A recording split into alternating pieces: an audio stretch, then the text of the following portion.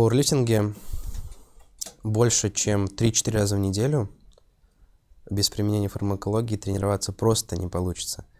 Организм просто э, не будет восстанавливаться. Даже бывает, э, я не успеваю восстановиться. Вот у меня в понедельник, в пятницу, допустим, жим лежа. Бывает, я в понедельник пожму, в пятницу прихожу и чувствую, что плохо дело обстоит. Я еще не восстановился. А тут вторник, среда, четверг.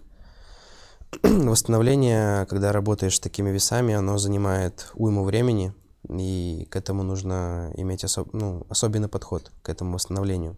Это все довольно непросто. Поэтому три раза это самое оптимальное тренировки, три раза в неделю. Четыре это уже край.